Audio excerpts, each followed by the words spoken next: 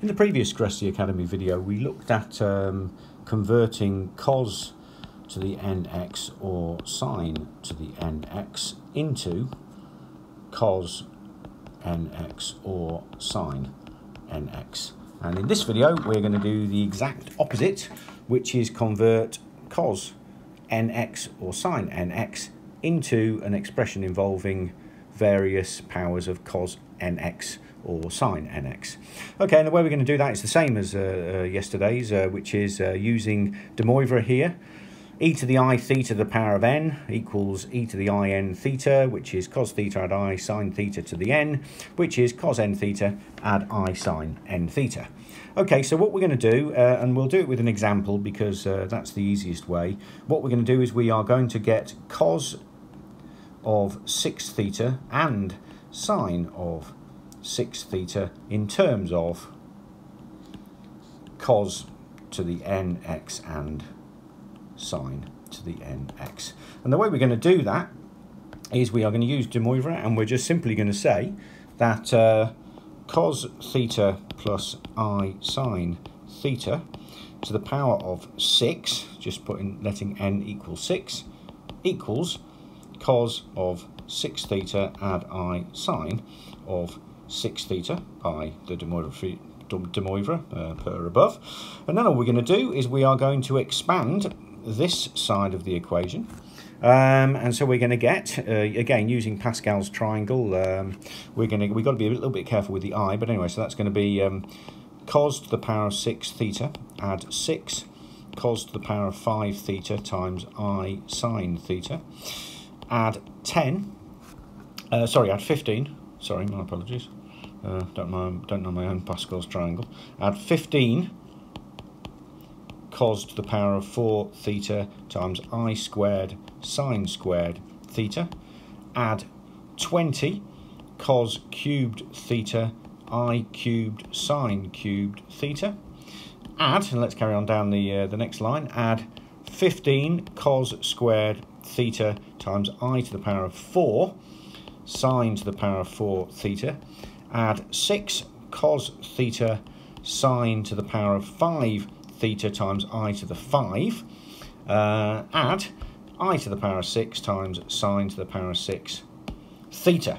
Okay, so that is the expansion of this, um, and that all, all of this here equals cos 6 theta add i sine 6 theta. So all we need to do to find cos 6 theta in terms of um, powers of sine and cos is uh, just compare the reals. So cos 6 theta, which is the real part of this, this is imaginary. And let's have a look at the real terms. We've got a real term here, there's an i there. i squared is minus 1.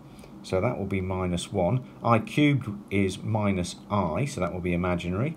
Uh, i to the 4 is 1, so we know that's 1.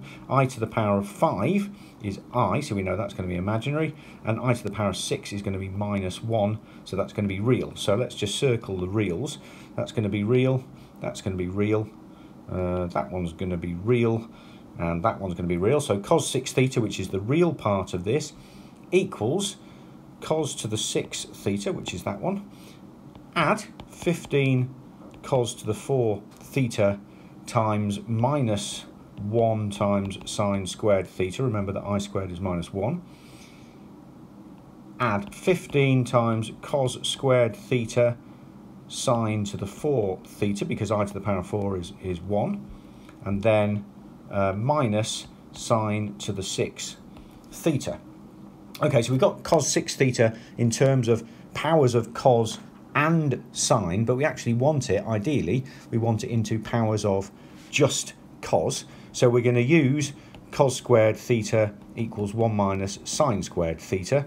And uh, just to make things a little bit easier, we're going to we're going to use c for cos theta and s for sine theta. Otherwise, it just gets a little bit boring uh, writing uh, cos theta all the time. So um, we've got cos 6 theta equals, so here, c to the power 6, that's cos 6 theta, add 15 cos to the power 4, sorry, minus 15, my apologies, because that's a minus 1 there, minus 15, minus 15 cos to the power of 4 times sine squared, we're going to replace sine squared by 1 minus cos squared. 1 minus cos squared. Add 15 cos squared times sine to the 4, which is 1 minus cos squared squared, minus sine to the 6, which is 1 minus cos squared cubed. And you'll now see why I'm using c rather than cos theta, because we've got to expand all of this lot, uh, which equals, let's uh, go. So we've got c to the 6 minus 15 c to the 4, we're just expanding this bit now, add 15c to the 6, add 15c squared 1 minus 2c squared add c to the 4, that's expanding this bit, uh, minus, just doing this last term here, uh, brackets 1 minus 3c squared add 3c to the 4 minus c to the 6, which equals, keep going, c to the 6 minus 15c to the 4, no, I haven't made a mistake here, add 15c to the 6, add 15c squared, sorry, c to the 6, add 15c squared minus 30c to the 4, add 15c to the 6, and then last uh, bracket, we just got to expand minus 1, being very careful with our minuses, add 3c squared minus 3c to the 4, add c to the 6. And now all we've got to do is add up our c to the 6, c to the 4, and c squared, and we can get our cos 6 theta in terms of powers of cos will be, let's have a look, we've got... Uh, um, 116, uh, that's 31, 32 cos to the power of 6 theta.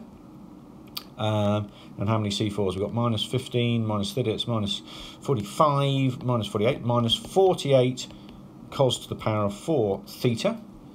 Add cos squared is uh, 15, 18. Add 18 cos squared theta minus 1, which is the only one left. And that is the ex expanding cos to the cos of 6 theta in terms of powers of cos theta. Okay, now we can also do the same for sine 6 theta just by examining the imaginaries. So sine 6 theta equals, and let's just go back uh, up to our original equation here, and let's just have a look at the imaginaries. Let's try and find a different colour here.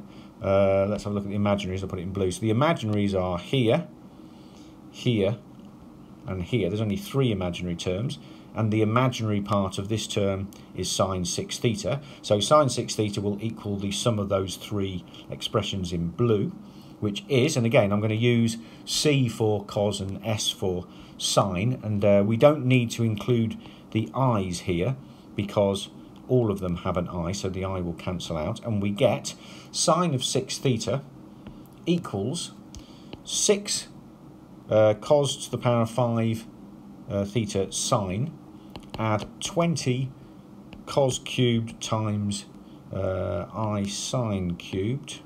Just got to be careful with that i.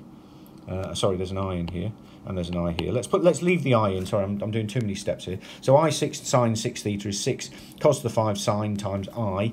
Add twenty cos cubed times i sine cubed.